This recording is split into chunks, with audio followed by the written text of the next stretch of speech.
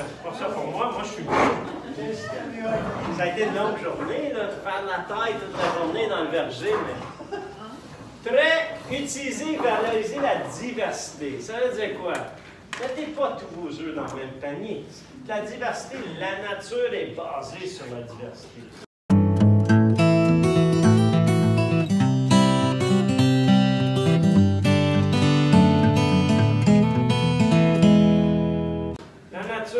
Pas basée sur toute la même chose au même moment, à la même place. Non. Un exemple. Les Amérindiens, dans toute la vallée du Saint-Laurent et plus loin, utilisaient un vieux système qui s'appelait les trois sœurs. Et ça a nourri la- les Amérindiens, les Iroquois au moins d'autres pendant des milliers d'années. Et c'était quoi les trois sœurs? Le maïs. Le- le- le- celui qui montait, Le maïs. le maïs. Le maïs, il monte, il monte vite. Alors le maïs est semé environ trois semaines avant les autres. Il est semé quand il commence à être environ un pied de haut. Ben là, là, on peut aller parce que les autres sont plus vite à décoller. Ensuite, les deux autres sœurs, c'est haricot grimpant, pas un haricot arbustif, là, haricot grimpant, et les courges. Alors, on sème ces deux-là autour du maïs. Le haricot, lui, grimpe, il utilise le maïs comme treillis. On n'a pas besoin de poser des petits piquets et tout ça pour que l'haricot grimpe. Le haricot, il veut grimper après n'importe quoi. Il préfère grimper après une plante que quelque chose de mort. Alors, il va grimper sur le maïs et la courge, elle, elle fait herbicide. Elle fait juste l'effet qu'il n'y a rien qui, il y a rien qui compétitionne la courge. Si c'est une courge avec des grosses feuilles, il n'y a rien qui pousse en dessous. Alors ça, c'est l'idée de base. Euh, là, il faut fignoler, il faut ajuster le bon maïs avec le bon haricot. Puis, ben, c'est ça. Après mille ans, vous l'aurez, euh, votre journée. Ouais, alors, c'est ça. C'est pas nécessairement la première fois que vous allez avoir la bonne combinaison, mais avec quelques essais, idéalement, demandez aux Amérindiens qui ont encore ces graines-là et qui les utilisent encore. Quelle- Donnez-moi une combinaison. qui- Ah, ben celle-là, celle-là, celle-là. Ah, ouais, OK. Nous, on utilise des guides. La même idée, on combinaison de plantes dans le verger. Alors, on peut avoir nos arbres, un arbre fruitier, un arbre fruitier, un arbre fixateur. Ensuite, les arbustes, ça, ça serait groseille, euh, probablement cassis ici, et des plantes en dessous. Donc, pour chaque arbre fruitier, on met deux arbustes fruitiers. Pour chaque arbre, parce qu'elle peut être arbre fruitier ou, ou arbre fixateur d'azote. On met deux arbustes à fruits. On met 10 vivaces autour de chaque arbre. Simplement parce que c'est logique comme ça de l'installer de cette façon-là chez nous. Et les vivaces, ça peut être des oignons, ça peut être des émeraucales, ça peut être des fleurs, ça peut être des, des, des laitues vivaces, ça peut être des choux vivaces, ça peut être toutes sortes d'affaires qui, qui poussent. Ça peut être de la rhubarbe, ça peut être des framboises, ça peut être des fraises. Bon, alors il y, a, il y a une panoplie de plantes qui marchent bien selon la quantité de soleil que vous avez. Au début, les premières années, après qu'on a planté, les trois premières années, c'était merveilleux faire des légumes annuels. Parce qu'il y a en masse de soleil encore. Donc, on faisait des pois, des haricots. On a commencé à les mettre sur les arbres fruitiers. Ça, c'était une erreur. Donc, on essaye. Savez-vous, des haricots euh, qui peuvent grimper sur un arbre aiment tellement ça, ils produisent tellement d'haricots que l'arbre fruitier, lui, au lieu de grimper comme ça, alors on se retrouve avec des arbres fruitiers qui, qui se sont mis en bonsaï, pliés sous la charge d'haricots. Ouais, c'est- ben, ils produisent- des haricots, là, quand ils sont contents, euh, ils produisent. Alors, ça, c'est quand même une popée production de, de poids. Et la même chose, on a même fait des cocombes. Ça, c'était le fun, récolter des cocombes dans les arbres, c'était bien. C'est ça. Alors, on donne une succession. La succession, c'est une plante qui remplace une autre plante dans le futur, et ainsi de suite. Utiliser ce qui pousse déjà, c'est une façon. Introduire des plantes qui survivent facilement et augmenter le niveau de matière organique. Ça, c'est assez important. Avec des paillis, c'est superbe. Utiliser les bordures, les interfaces. Euh, ça, c'est dans la nature, une bordure. Si ça, c'est la forêt ici, et ça, c'est un champ, mais cette zone-là va être la plus diversifiée. Ça veut dire que les espèces qui utilisent le champ, souvent, ils vont se poser ici, sur le bord. Les espèces qui utilisent la forêt viennent sur le bord. Et là, il y a des espèces qui ne vivent que sur le bord. Alors, il y a comme trois groupes à cet endroit-là. Il y a un groupe ici. Wow, c'est un bon endroit. Ceux qui, si vous êtes sur le bord d'un lac, bien, le bord du lac, il y a des espèces qui sont dans le lac. Il y a des espèces qui sont, si c'est une forêt qui vient juste, il y a des espèces de la forêt qui viennent sur le bord pour boire, pour être au soleil, peu importe. Et il y a des espèces de la bordure. Donc, les bordures, c'est super riche. Si vous avez une maison et vous avez un mur qui fait face au sud, c'est super, prenez-en avantage, mais faites monter des plantes. Vous allez avoir une bordure à cet endroit-là. Il y a beaucoup de plantes. Je regarde les murs en briques et je me dis, waouh, la quantité de raisins qu'on pourrait faire là. Euh, c'est bon, hein? Ouais. Alors, nous, c'est un peu l'idée. Le verger, on espace les rangées juste assez pour simuler des bordures. Et on voit que les oiseaux répondent à ça. Ils viennent en nombre. Utiliser le changement et réagir de manière créative. Ça, c'est vraiment le principe humain. Si je vous dis, hey, il vente fort, ou si je vous dis, hey, il vente fort, qu'est-ce que j'ai dit? J'ai dit les mêmes mots. Est-ce que ça veut dire la même chose? Non, d'un côté, je lui dis Ah, il vente fort Ça, c'est un négatif. Je l'ai vu comme c'est pas bon, il vente fort. Ou l'autre, moi, si peut-être je veux installer une éolienne, je dis Hey, il vente fort Wow, c'est merveilleux, il vente fort ici. Je veux installer une éolienne. Alors, ça, c'est le côté humain. On a, on a le choix. Peut-être vous êtes Ah, je dois aller travailler. Ah. Peut-être vous êtes, oh, je vais aller travailler. Hein? Ça, c'est votre choix. Le choix peut-être de l'emplacement des gens, et ainsi de suite. Peut-être vous dites, oh, il faut que je travaille avec lui. Ou peut-être dites-vous, est-ce que ça, votre réaction, est à cause que, ouais, mais tu ne connais pas. Ben, moi, je sais que je peux voir la chenille comme étant ah, une autre année de chenille. Ou bien je peux dire Hey, chenille, vous êtes là pourquoi finalement? Qu'est-ce que tu essaies de me montrer? Souvent, les choses qui nous dérangent dans la vie, là, il faut se demander est-ce que ça arrive à moi, ça? Tu sais, avec ça, est-ce que ça arrive à moi ou est-ce que ça arrive pour vous? Ça, ça, c'est votre choix. Vous avez le choix. Ça, c'est le côté humain. Vous êtes confronté devant quelque chose qui vous dérange. Mais est-ce que le fait que ça vous dérange, c'est un négatif? Ou vous devriez plutôt vous dire, ben, pourquoi ça me dérange, ça? Souvent, sur le côté comportement, les choses qui nous dérangent, c'est les choses qu'on fait.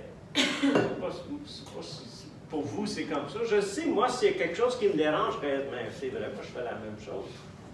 Mais c'est ça qui nous dérange. Quand on le voit dans les autres, ça nous dérange. Mais nous, qu'on le fait, ça ne nous dérange pas. ça, dites-vous, est-ce que ça arrive à moi ou pour moi? Ça, ça c'est votre choix. Et là, vous devez ajuster et voir en conséquence. Parce que tout fonctionne des deux façons. C'est la façon que vous réagissez envers cette chose-là. Et commencez à changer la façon que vous le voyez, wow, vous allez voir tout d'un coup, wow, hey, il vente fort. Il vente fort, il vente fort, c'est merveilleux. C'est juste la façon que vous voyez et comment vous pouvez en tirer profit. Donc, appliquer un ou plusieurs de ces principes, ça commence là. C'est la base. On va voir des caractéristiques qu'on voit souvent. Le premier, c'est l'utilisation de paille. Pourquoi? Parce que ça ajoute de la matière organique. C'est quoi? Paille? Ça peut être de la paille. C'est le mot original vient de la paille qu'on appliquait. Mais est-ce qu'il y a autre chose qu'on peut utiliser comme paille? BRF. BRF. C'est quoi BRF? Bois ramifié fracturé. Bois ramel fragmenté. Oui, ou un, un, ou l'autre. C'est ça. C'est du bois ou des branches. Il faut que ça soit des branches euh, d'une grosseur pas plus que 2 pouces ou 5 cm qui sont déchiquetés. Ça peut être fracturé ou peu importe, mais ils sont brisés pour donner un paillis. Souvent, on utilise des plantes vivaces, pas juste des plantes annuelles. Vous savez, le jardin, la plupart du temps, est composé de plantes annuelles. C'est quoi la différence entre une vivace et une annuelle? Là, ça pousse chaque année. Annuel, c'est ça Annuel, c'est qu'il faut la ressemer à chaque année. Vivace, pousse seule. OK. Moi, quand je suis devant une plante, puis je dis, bon, je peux mettre du chou euh, pour... Euh, je peux semer du chou pour les prochains 10 ans, ou je peux planter le crambé maritime, puis pour 10 ans, je vais avoir du chou. Hmm. Ça fait du chou? C'est un substitut. Ça ne fait pas exactement, même ça fait plus. Ça fait trois choses au lieu de juste un. Euh, ça nous donne, avant qu'elle ait monté en fleurs, vous voyez un peu ces boutons-là, ça vous ressemble à quoi ça? Brocoli. C'est vraiment un brocoli vivace. Alors, avant que la fleur s'ouvre, on peut le manger comme brocoli. On peut manger les feuilles. C'est vraiment un bon, bon, très bon substitut aux feuilles de chou si on voulait prendre une partie de la racine, c'est un peu comme le substitut navet. Parce que ces trois-là, brocoli, chou, navet, c'est toutes des. C'est la même plante dans divers agencements, mais il est tout dans le même dans cette plante-là. Et dans les sols plus lourds, il pousse très bien. Et dans les sols salés, il pousse très bien. Peut-être que vous êtes sur le bord d'une route où ils mettent beaucoup de sel ils mettent un peu de sel à Montréal. Et si, surtout s'il y a un peu de dérive, c'est-à-dire quand les autos ils passent, là, il y a un peu de. Hein, la, chenoute de, la chenoute du sel qui se retrouve. Bien, ça, le crambé maritime, c'est une plante de bord de mer. Habitué au sel. Il aime ça, même, il a besoin de sel. L'idée dans ça, c'est. Et la même chose pour les noix, les fruits, et ainsi de suite. Il y a des plantes qui vous savez, un pommier, c'est pas juste une année. On n'a pas à planter. On peut planter des pommiers à chaque année, mais le pommier, on le plante une fois, il dure 30 ans, 50 ans, 100 ans, 150 ans, 200 ans peut-être. Alors, intéressant. C'est comme, hey, euh, si je n'ai pas à refaire la même chose à chaque année, tant mieux. Une faible densité, c'est-à-dire quand on plante les arbres, on ne cherche pas à être tassé pour en mettre au maximum. On, peut le planter un peu moins dense pour pouvoir faire d'autres étages. Comme j'ai dit, arbres, arbustes et vivaces. Donc, les trois peuvent très bien fonctionner. Les trois étages peuvent bien fonctionner. Maintenant, on met au pied des fixateurs d'azote, on met des vignes et des kiwis. Alors là, on vient d'aller chercher un quatrième étage. Éventuellement, on aimerait avoir beaucoup plus de champignons. Ça, ça serait un autre étage. Les champignons, c'est super intéressant. Et ainsi de suite. Je peux te poser une question? Oui. Mais quand vous parlez de fixateur d'azote, oui. euh, comment, comment ça fait fixer l'azote? Ça a une, une association avec euh, des champignons qui, bactéries qui s'associent aux racines. Oui, bactéries. Euh, et ces bactéries-là, eux, en s'associant, la bactérie lui donne de l'azote et reçoit des sucres de la plante. ça nourrit la terre autour, Oui. Ouais, la terre devient plus fertile à cause de l'azote fixé, mais il faut généralement le tailler pour libérer ça. C'est-à-dire qu'il faut faire que la racine elle croît et qu'on on fait mourir un peu de racines. Donc, mais la taille, on fait une taille de toute façon. Donc, en faisant une taille de ces arbres-là, ils libèrent une partie de, de l'azote. Mais c'est ça aussi, je pense, qui donne des acides aminés hein, dans la nourriture qu'on euh, prend. Bonne question. Je Ouais. n'ai jamais Ben, été. euh, Je suis allé souvent dans le sol, mais je n'ai pas vu celui-là. Ouais. Ça produit des acides aminés essentiels à la vie humaine. Et l'autre, c'est l'utilisation de lisières de haies pour ajouter la diversité. Alors ça, c'est le projet que Jean-Martin dirige pour la ferme des quatre temps.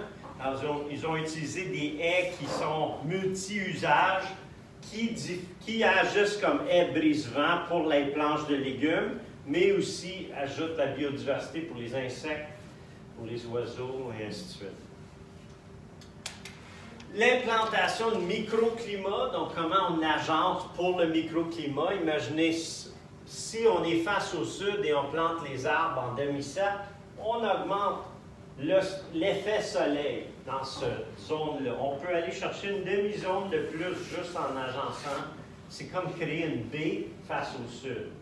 Imaginez une baie d'un lac, là, c'est un gros. Mais imaginez faire ça avec des arbres. On vient créer un endroit qui est plus protégé où ça pousse mieux. On peut ajouter de l'eau ou des étangs qui, eux, créent du microclimat par le reflet puis par le stockage de du soleil dans l'eau. Euh, les rizières, c'est un bel exemple. C'est la même chose. On stocke l'énergie, mais aussi on empêche que l'eau descende de la montagne. On la capte et graduellement, elle est disponible les animaux souvent sont utilisés, des ruches chez les animaux de ferme. Euh, on planifie. L'idée, c'est pas Ah, on donne l'espace pour les poules. Non, l'espace doit être changé. Les poules n'aiment pas manger où ils ont mangé hier. Normalement, ils se déplacent. Tous les animaux cherchent à se déplacer. Donc, il faut planifier comment on va permettre que les animaux se déplacent pour qu'ils aient justement de, de l'herbe fraîche.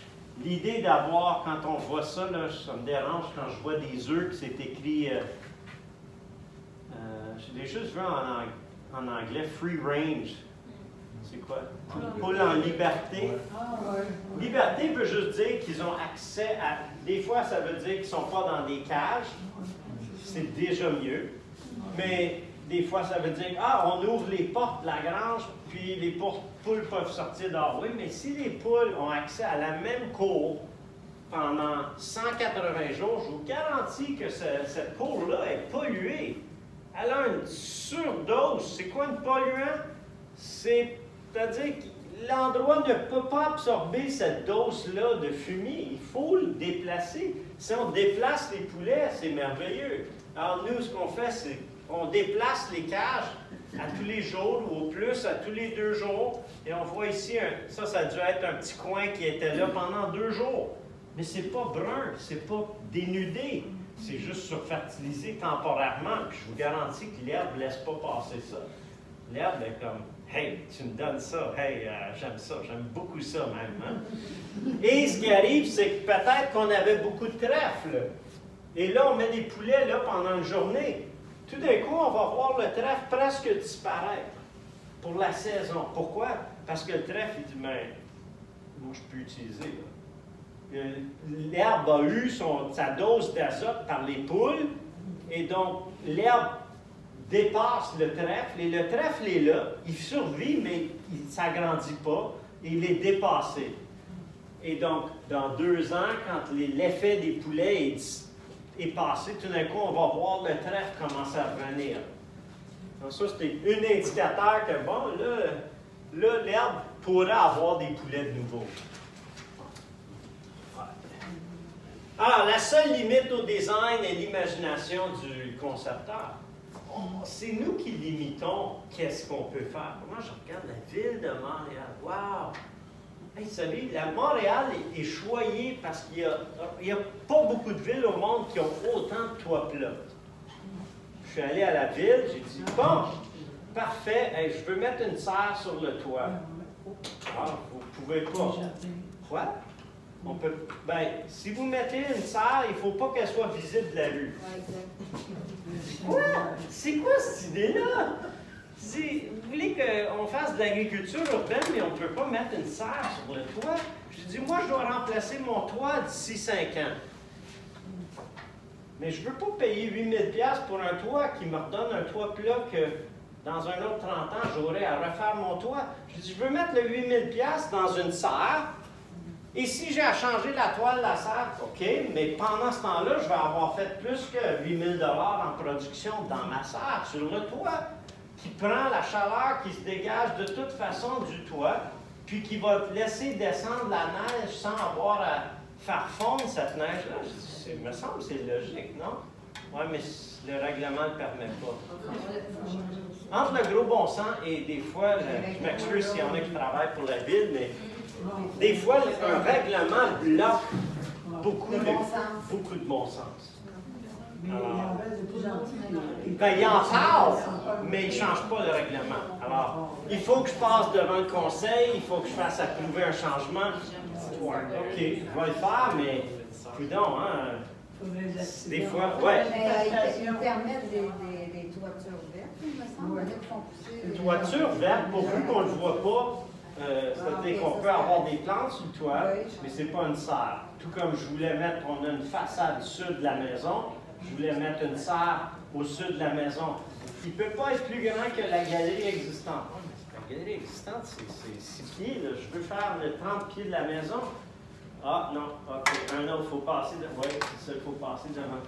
Donc, des fois, des choses qui sont logiques, il y a un peu des empêchements. C'est pour ça que j'ai un laboratoire en campagne. Oui. Savez-vous pourquoi il y a une... C'est quoi la raison du règlement qui empêche d'avoir des toits Savez-vous c'est quoi la, la raison? Non? Non. Il y a juste... c'est juste pas... Le règlement, c'est pas adapté à... Il- c'est ça. C'est comme l'idée que si vous voulez avoir des poules en ville, Ouais, Ben, c'est le. euh, c'est qui qui a fait faire ça, là? Euh, comment il s'appelait? Taillibert. Ouais, ça, c'était l'architecte, mais c'était qui le maître? Jean Drapeau. Jean Drapeau. Jean Drapeau, à cette époque-là, écoute, là, il y a du monde encore des poules en ville. Là.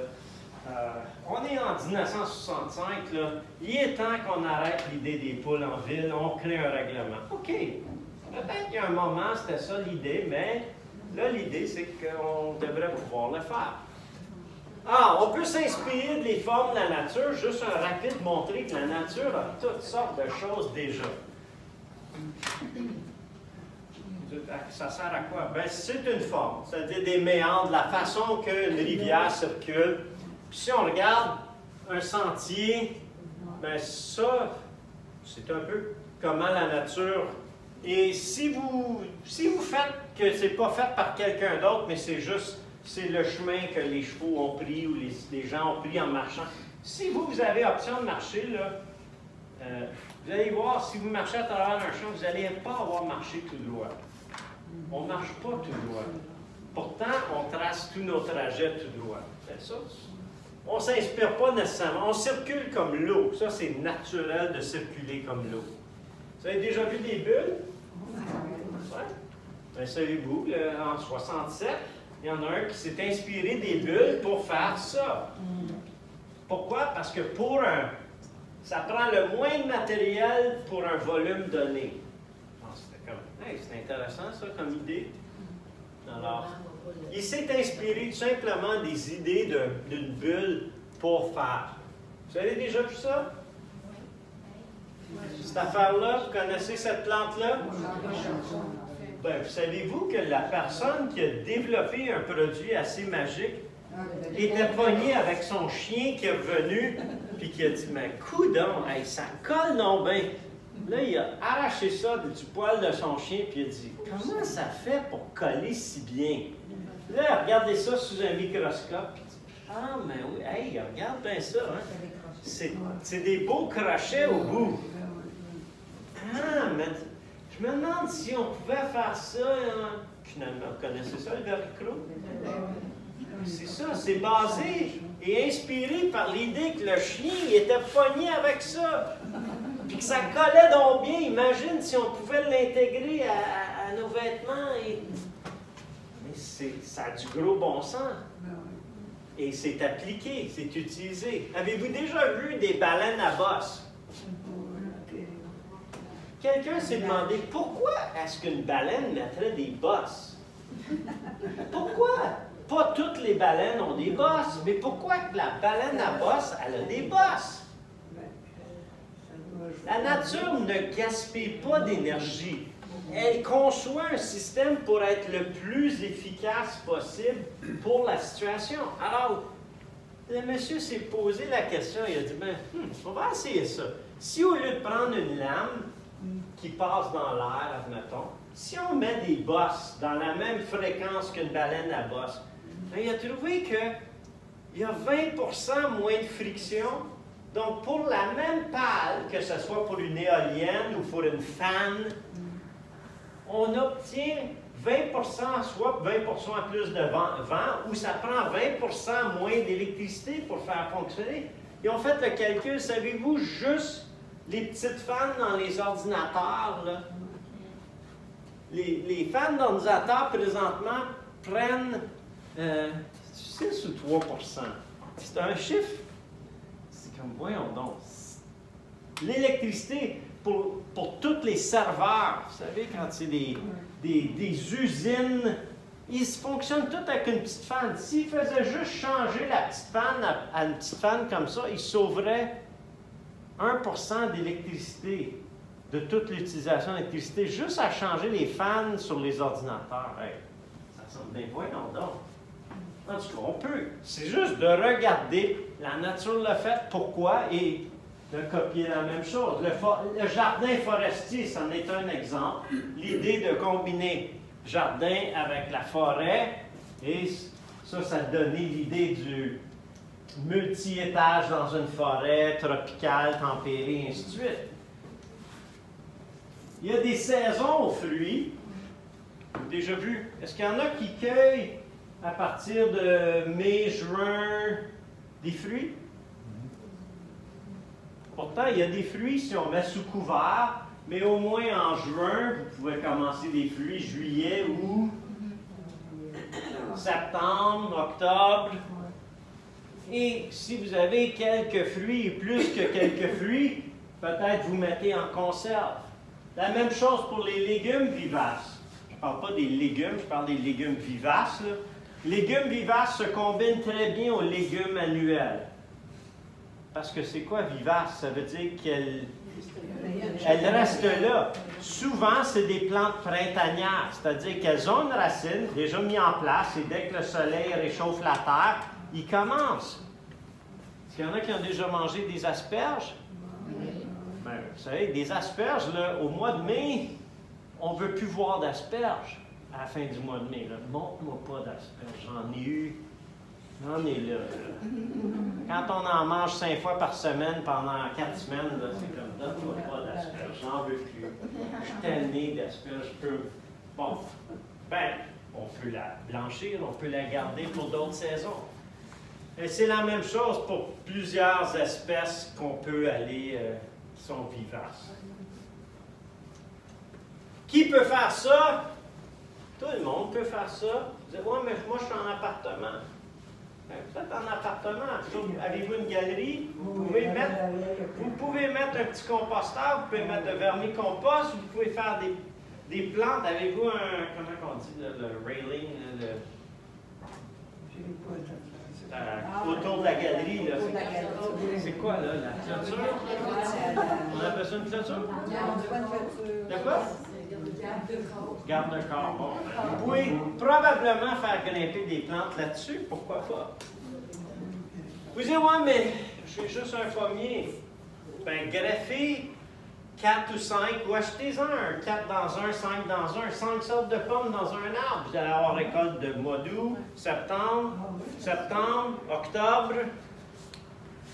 Pourquoi pas? On peut faire ça. Ah, c'est juste peut-être en campagne. Non, c'est en ville. Cours avant, cours arrière, sur le toit, au sous-sol. Vous pouvez faire des pousses et des champignons au sous-sol en élevant vos petits poussins au sous-sol. Soyez hors la loi. N'ayez pas peur. On peut recycler des déchets. déchets. Qu'est-ce qu'on fait avec toute cette pluie? Euh, Il y a des moments qu'on en a trop, il y a des moments qu'on n'en a pas assez. Vous pouvez aller à ce, celui-là, j'ai trouvé assez flyé. Là. Le monsieur, il voulait pouvoir faire un barbecue solaire. Alors, il a mis 48 miroirs combinés et il réfléchissait tout sur la plaque. Euh, il aurait dû mettre ses lunettes euh, soleil, par exemple, parce que. Et ça fonctionnait. J'ai dit, mais ça, c'est c'est flyé, là, mais imaginez un barbecue qui est ah, au milieu de la journée, tous les miroirs réfléchissent n'importe quoi qu'il met sur la plaque, ça cuit. Là. Oui, mais ça va être difficile de, de faire sur le soleil. Ça va être difficile de? Oui, parce que là, il faut toujours ajuster, Ajuster. les, les miroirs. Mais je pense que lui, il l'avait ajusté pour un moment de la journée. Donc, il l'a installé pour entre, midi moins quart et, midi et quart, c'était au maximum. Sinon, c'est vrai, il faut toujours les changer.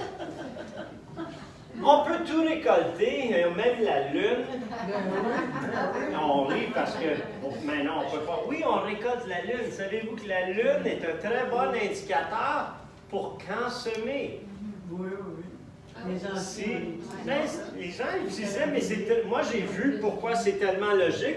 On est sur, notre ferme, elle est sur du sable. Et le- l'eau est à 8 pieds sous la surface. Et trois jours avant et trois jours après une pleine lune, même si on est en période de sécheresse, le sol est humide en surface. Au matin, on voit le sol. Mais je dis, mais la première année que j'ai vu ça, je dis, mais qu'est-ce que c'est ça? Il n'y a pas plu hier, il n'y a rien dans aucun bol, mais le sol est mouillé. J'ai dit, c'est quoi ça? C'est une marée. La Lune fait monter la marée. Et 8 pieds, c'est la distance parce que c'est au- aussi effet capillaire. Donc la Lune tire sur la nappe d'eau et la nappe d'eau monte par l'effet capillaire jusqu'à la surface. Rendu 10 heures du matin, le sol est sec. Pourquoi? Parce que la marée, a baissé et le sol fait sécher le sol, la surface. Donc si vous semez vos graines, et vous faites rien au jardin, mais vous semez des graines trois jours avant la, la pleine lune. La petite graine, dès le premier soir, va être humidifiée par l'effet capillaire de la marée montante. Le deuxième jour, la même chose. Souvent, trois jours après, ils ont germé. Et là, dès qu'ils germent, s'ils germent pour la pleine lune, c'est idéal parce que la petite racine qui sort, là, elle a le maximum d'eau. Et là, à chaque nuit, la marée va monter un peu moins haut. Alors, la racine doit continuer de courir. Avez-vous déjà demandé des mauvaises herbes, là? On dirait que tout d'un coup, il y en a plein dans le jardin. Mais ça, c'est toutes des graines qui attendent la pleine lune, la marée, et tout d'un coup, ils partent toutes du même temps parce qu'ils ont été, ils ont eu ce bonus d'eau. De, des fois, il pleut, mais s'il n'y a pas plu, tout d'un coup, on se retrouve avec plein d'herbes qui poussent. Ben, eux, ils savent, ils attendent le moment. C'est à chaque mois, 28 jours. ils- Alors, imaginez des villes, des villages comestibles. Hein, on peut en ville, on peut. Moi, je dis, la, la place commencée, mon objectif, c'est 100 km de pistes cyclables à Montréal. C'est pas beaucoup. 100 km, c'est l'équivalent de 40 heures de verger. C'est pas énorme, mais c'est un bon début. Mais 100 km, ça veut dire que probablement où vous de- demeurez, si vous empruntez une piste cyclable, on pourrait circuler le long de- d'allées de verger, même si c'était juste d'un côté. Et là, à chaque 50 mètres du sentier, on change de date de récolte. Peut-être vous circulez, vous verrez un petit panneau. Début août. Vous dites, c'est quoi ça, début août? Tout d'un coup, vous arrivez mi-août. On est 1er septembre. Et là, on arrive 1er septembre, puis là, vous voyez les fruits. Ça veut-tu dire qu'on peut. Ah, ça serait pas long, on comprendrait que. Mais oui, c'est le moment de cueillir ces fruits-là. Vous n'avez pour 50 mètres. Puis là, ça recommence. Quand vous êtes rendu à mi-octobre, on retombe au mois d'août. Puis ainsi de suite, ainsi de suite. Ça, c'est tellement facile et on peut le faire. Mais des fois, c'est juste le, le go. Pensez mètre cube. Ça, c'est un beau projet à, à- Paris. Et euh, on peut utiliser les murs. Les murs, c'est, en ville, on a énormément de murs. Ce que j'ai remarqué, c'est qu'en ville, tout ce qui coûte le plus cher, c'est-à-dire l'infrastructure. Vous savez, si moi je voulais mettre un hectare de vignoble, c'est pas les plants de vigne qui coûtent cher. C'est tous les poteaux, les fils, c'est tout ça, l'infrastructure métallique, si on veut, qui coûte cher. Et ensuite, on met les vignes, on les plante, puis eux, ils grimpent là-dessus. Dans la ville, on a toute cette infrastructure-là déjà payée par nos taxes. Avez-vous déjà vu des clôtures en ville? Les clôtures Frost, ça c'est superbe. Ils sont toutes déjà là. Vous avez qu'à planter quelque chose dessus. Avez-vous déjà vu des lampadaires? Ben, vous savez, un lampadaire, euh, donnez un kiwi un lampadaire, là, puis il va bien aimer ça. Il grimpe comme ça autour. Il y a un règlement qui va vous en faire Oui, probablement. C'est pour ça que je vous dis, faites des choses euh, illégales. Faites des choses un peu illégales. Des fois, c'est juste de montrer l'exemple. Puis, hey, c'est fun, ça. Oui, euh, est-ce que faire grimper des plantes, ça peut abîmer les murs de briques? Il y en a qui disent oui, il y en a qui disent non. Oui, bonne question. Moi, j'ai euh, j'ai un mur que depuis 20, 25 ans, j'ai de la vigne dedans. Et c'est le seul mur que je n'ai pas à repointer les briques. Puis là, j'ai compris à un moment donné, parce que j'aime bien observer. Une grosse pluie qui est venue l'été, et je suis allé voir le mur de briques, et il était complètement sec derrière un mur de raisin. Il faut mettre, avant d'arriver là, il faut dire que si votre mur est en train de désagréger, les plantes grimpantes vont l'accélérer. Ça, c'est la première chose. Mais si votre mur est simple, il va prolonger la durée. Pourquoi? Parce que c'est l'acidité dans la pluie qui désagrège le mortier dans les briques et dans, les murs en pierre. C'est vraiment... Les pluies acides ont fait beaucoup de dommages pour ces choses-là. Et si on empêche que la pluie touche, pas nécessairement chaque fois, mais plusieurs fois, à chaque fois, on vient de sauver, on, a, c'est comme si on a eu, au lieu d'avoir 25 pluies dans l'été, c'est comme si on a eu 5 pluies dans l'été. Donc le mur, il dit, ben, moi j'ai été sec beaucoup plus longtemps. Alors, oui, ça peut, si le mur est déjà en train de tomber, mettez-le pas. Réparez votre mur, puis ensuite mettez-le. Puis Mais, quand vous mettez votre vigne, la, la coupez-vous, la taillez-vous? Je la taille un petit peu, mais souvent elle se taille un peu elle-même parce qu'on n'a même pas de structure, on n'a pas de fil sur le mur. Euh, il grimpe sur un, un lierre grimpant. On utilise deux vignes, alors c'est le lierre qui tient, puis la, la vigne grimpe après l'autre plante. C'est une façon plus paresseuse de le faire. Une vigne, dites-vous, en, en France, l'exemple, quand on taille la vigne, on enlève 98% de toute la croissance de l'année passée. On ne laisse pas beaucoup sur le. La vigne, c'est la plante qui est le plus taillée. Admettons que vous avez fait 100 cm de croissance sur une vigne, bien, vous gardez 2 cm.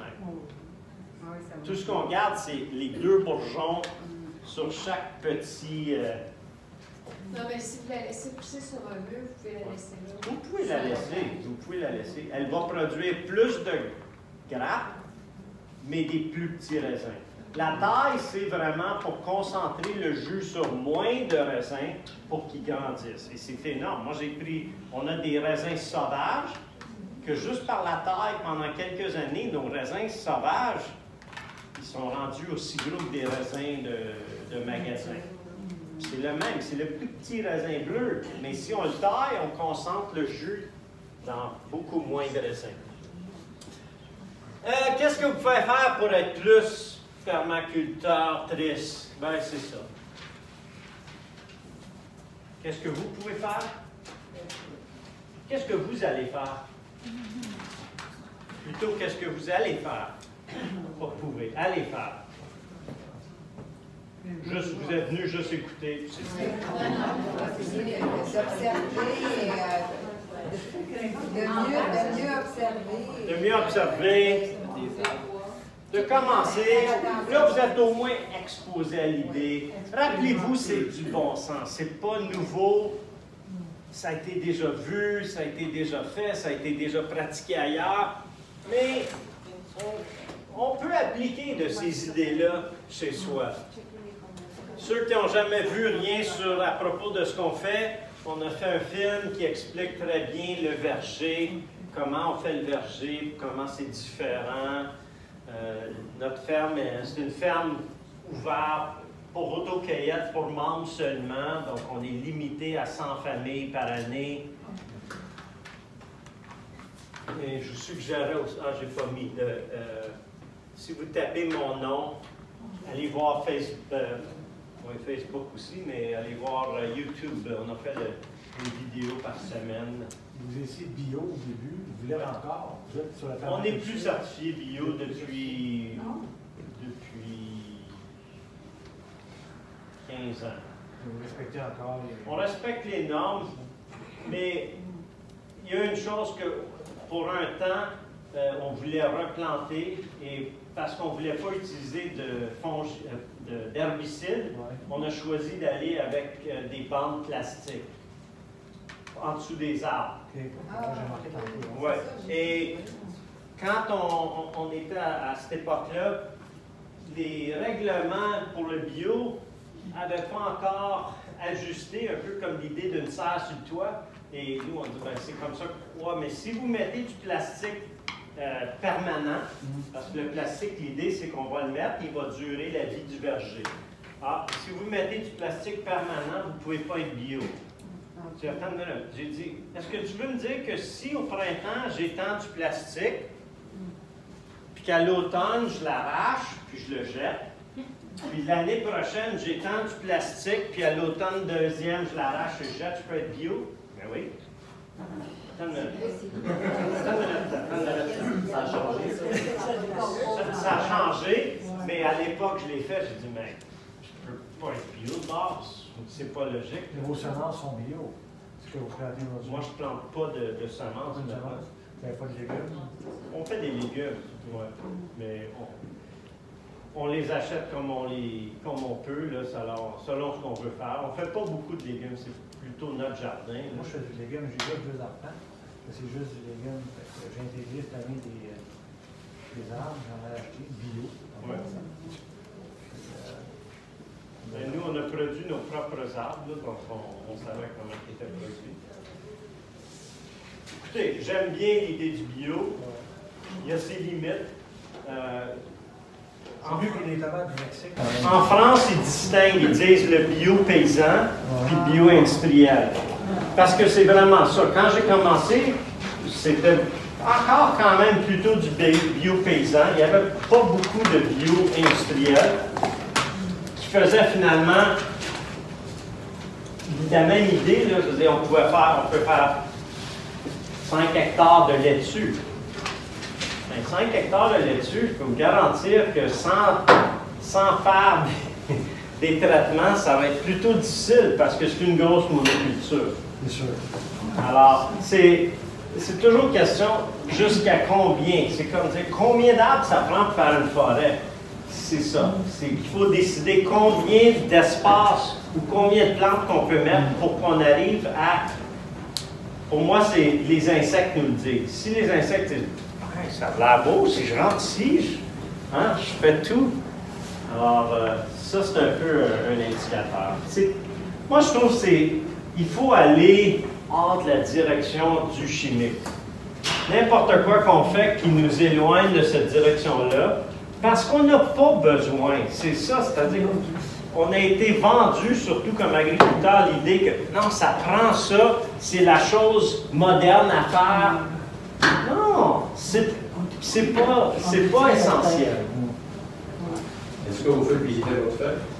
Oui, on a deux tours par année, un au printemps et un euh, en- en floraison, puis un à l'automne à la récolte. On a, j'ai pas le lien là, mais si vous allez, euh, yvettebright.com, puis vous tapez Les Fermes Miracles, vous allez voir le- celui au mois de, je pense que c'est 14 mai au printemps. Non, le 18 mai et le 14 septembre. Vous êtes exactement? On est un peu passé Huntington, euh, plus précisément à Casaville. C'est une heure au sud-ouest. Zone euh, cinq? zone 5, oui. J'aurais aimé avoir votre opinion. euh, pour des gens qui, comme nous qui voulons, on, on a démarré un jardin, quand on a loué des livres à la bibliothèque, c'est souvent des livres de jardinage qui proposaient une rotation des cultures, de, des espèces. En fait, si je comprends bien, la permaculture, ça vient un peu défaire toutes ces conventions-là. Ou Non. pas nécessairement, il y, a, Non. fait que ça- il y a encore des principes des fois de combiner des cultures Ah. plus intensives, moins intensives. Fait y a quand même. Oui. euh, c'est juste un peu différent, c'est ça? Il y a- C'est pas une technique. Euh, parce qu'en fin de compte, c'est pas long qu'on réalise entre chez toi et chez moi, c'est pas les mêmes conditions. Alors, il faut adapter, il faut toujours être observant pour c'est quoi les différences? Euh, moi, j'ai un, jardin ici euh, à Verdun, c'est de la grosse glaise en ville. Quand j'arrive à la ferme, nous, on est sur une ancienne plage. C'est du sable, mais du sable. On a déjà eu un tour quand on a eu une pluie qui a tombé 4 pouces de pluie pendant la nuit. Et à 11 heures du matin, j'ai mis le genou à terre, puis le genou, il est tout sec. 4 pouces, c'est ça à Montréal, 4 pouces de pluie, là, vous allez avoir plus que le genou mouillé. Donc, c'est selon les conditions. Mais l'idée, c'est d'appliquer des rotations, d'appliquer, de combiner les cultures. Ça, c'est des techniques, c'est des détails de techniques. Regardez avec le principe, qu'est-ce que vous faites avec vos cultures après? Qu'est-ce que. C'est le début. La technique, c'est pas une technique permaculture. Tout comme moi, le verger, euh, je l'ai appelé le, verger permaculturel, mais c'est juste dans notre climat, ça c'est un principe qui fonctionne bien. Quand on va dans les tropiques, eux, ils peuvent faire, ils devraient faire plus que juste arbre arbuste. Ils devraient avoir un arbre plus grand et ensuite un arbre très grand au-dessus. Ça dépend où on est pour qu'est-ce qu'on peut faire. Il faut. euh, Excuse. Vas-y. OK. Euh, au début du cours, vous parliez qu'il y avait un, un cours qui se donnait là, avec une licence diplômée de Ouais. 1995. Est-ce que ce cours-là existe encore? Oui, il y en a même. euh, il y en a plus que deux. J'en connais deux, mais il y en a sûrement plus que deux, même pour cette année là, au Québec. Est-ce que c'est qui? J'en donne plus là, de celui-là. C'est, des cours intensifs. Là. Moi, 12 jours, là, Je ne sais même pas cette année où est-ce qu'ils ils vont le donner. là. Il y a quelques groupes. Tape, euh, tu tapes PDC ou CPD, certificat de design, CDP, certificat de design en permaculture, puis Québec, puis tu vas en voir quelques-uns, là, au moins deux. moins. J'avais une question en temps Ouais. Admettons que sans suivre le cours, lire un livre là-dessus. Si vous avez des bons ouvrages à nous conseiller, des bons auteurs, Oui, mais cet auteur-là a fait quelques bons. Euh, je te dirais, il y en a deux faciles, très, très faciles. Tu peux passer ça dans quelques heures. C'est Permaculture 1, Permaculture 2. Qui, qui- c'est deux, deux livres différents, mais un, c'est, vraiment des débuts. Euh, je te dirais, commence avec des vidéos même. Son nom de l'auteur, c'était? Celui-là, c'était Mollison qui avait écrit ces, ces deux-là. Il y en a un qui est la grosse, qui est vraiment la base du cours. C'est plus, c'est, plus que deux heures. là. Euh. Quand- mais il y a tellement plus de ressources aujourd'hui. Moi, quand j'ai commencé, c'était surtout en anglais. C'est pour ça qu'au Québec, euh, on était dans le, le premier cours au Québec, qu'on faisait venir quelqu'un de Colombie-Britannique qui parlait aussi français pour enseigner ça ici. Ça a commencé comme ça. Puis là, depuis, il y a eu plusieurs personnes qui ont été formées, qui ensuite enseignent ailleurs aussi. Ouais, c'est un- c'est un début. un début, mais il y a tellement de tellement d'informations disponibles. Excuse. Alexandre? C'est une petite blague, je voulais juste euh, proposer un échange entre euh, de la glaise et des sables. Un échange? T'en veux? J'en ai du sable en masse? Mon voisin a un, un pit de sable. euh, il en sort à- aux 40 pieds. Euh, je demeure la région de Saint-Joseph-du-Lac. Je suis entouré d'argile. Euh, il y a un domaine que je connais qui est sur le bio, au niveau des pommes. Il est sur quatre arpents à peu près, même pas. Tout le reste, c'est euh, zéro, constamment. Euh, des milliers de personnes qui font la cure automne pour aller chercher des pommes. Il y a une réticence face à la permaculture. La personne c'est- une première. tu sais, euh, Qu'est-ce qu'on va faire pour euh, justement qu'on puisse changer nos habitudes? Euh, 35% des consommateurs au Québec euh, achètent un, un- un légume par rapport à son prix, et non pas par rapport à sa provenance, par rapport à sa qualité. Euh, on part de loin. Changer les mentalités, c'est là. Moi, j'ai. Ouais. C'est un bon, c'est un ramassis d'exemples que je vous donne, mais Non, euh, puis moi, je vois dans mon secteur beaucoup, beaucoup de réticence. Moi, je suis un extraterrestre, pas chez nous. Je suis entouré de champs de soya. Euh, on me regarde avec gros yeux parce que je veux faire euh, je fais du bio.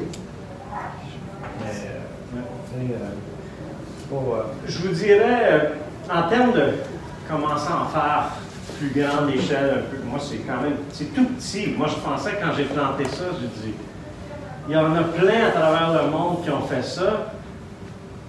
Puis je- finalement, je me suis pourquoi qu'il n'y en a pas plus? Mais j'ai réalisé, entre le temps qu'on commence à apprendre ces notions-là, comme je vous l'ai dit, l'idée que la phrase qui m'a pris 5 ans de gérer, je dis, pourquoi ça me prend 5 ans de gérer? Parce que ça bouscule, pas juste que nous, on peut avoir pensé, mais dès qu'on. Souvent, on regarde à droite et à gauche, euh, on, on entend quelque C'est-tu logique? C'est-tu logique? On veut être validé dans ce qu'on entend par d'autres. Malheureusement, quand on est extraterrestre, un peu comme moi, puis je regarde, euh, dès, dès que j'ai commencé à planter, j'ai eu des gens qui sont venus et Qu'est-ce que tu fais là? C'est pas juste des pommes. Ouais, c'est ça Parce que l'idée. la rentabilité était là avant. Vous l'aviez, votre Oui, rentabilité. oui. Et, Et aujourd'hui, elle est là. Oui. Ça coûte plus cher. Moi, je, moi, je bio, ça coûte plus cher. ouais. Ça coûte 10 000 piastres de plus par année parce que je suis bio. Moi, j'ai fait plein d'erreurs. Je veux dire, c'est pour ça qu'on a fait le film. J'ai dit, wow, là, là, il y en a qui me demandent des conseils. Je dis, regarde, faites pas les mêmes erreurs que j'ai faites. Ça me- je suis rendu au-dessus de 60 000 piastres d'erreurs. J'ai une bonne éducation Harvard équivalent, là. Juste, juste par des choses. Puis des fois, c'était tellement. Ben, c'est tellement. Ouais, mais quand tu le sais pas, tu le sais pas, là. C'est tellement évident. C'est évident après, c'est toujours évident après. Et la plupart des erreurs, j'ai fait au moins deux fois. Parce que je l'ai fait, puis là, ça fait dix ans que j'ai pas fait l'erreur, puis là, je me rappelle même plus. J'ai jamais fait ça. Mais quand je suis dans l'erreur, je dis Ah oui, c'est vrai, je- là, je m'en rappelle, je l'ai fait. Ça, c'est la deuxième fois. Oui, mais, à, à moins d'écrire tout ce qu'on a fait comme erreur, puis de réviser à chaque année, on va en faire. Moi, j'ai arrêté, j'ai fait un- un- une maîtrise en sciences, puis après ça, j'ai dit, bon, j'en ai assez d'être méticuleux à ce point-là, je veux essayer plein de choses. Et j'ai essayé plein de choses. Mais je vois qu'on est à, à 7 minutes de se faire sortir de la salle. Euh, je vous remercie de vous être déplacés, puis j'espère que ça a été quand même une, une introduction. Puis si ça vous plaît, arrêtez pas là, continuez d'avancer dans ce domaine-là. Merci et bonne soirée.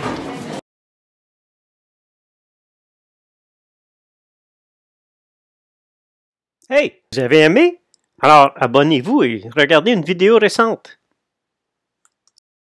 Yeah.